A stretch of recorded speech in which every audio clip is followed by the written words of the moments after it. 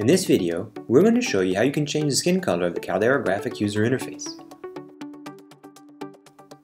The Caldera RIP allows you to choose your graphical user interface skin color depending on your preference, either black or gray.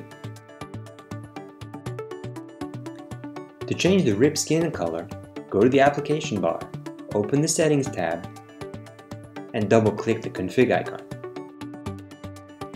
This will open the software configuration window.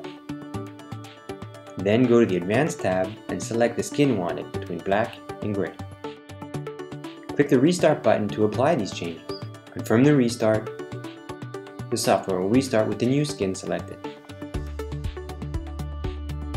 For any help with our software, be sure to visit our Caldera Desk Knowledge Center.